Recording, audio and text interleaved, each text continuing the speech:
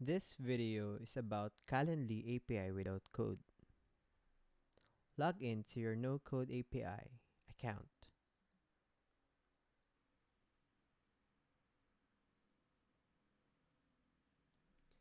Then view Marketplace. Search for Calendly. Then activate. Then create Calendly API. So authenticate.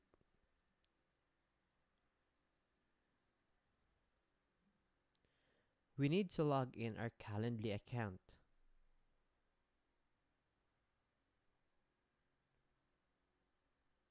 So after we authenticate, we need to give a name. Let's name it Calendly. Then create. Next is use this API. Here we can see the list of endpoints, which is the list of events and list of events invitees. We can get the list of event endpoints by clicking Click and Test API. Copy this endpoint and paste it to a new tab.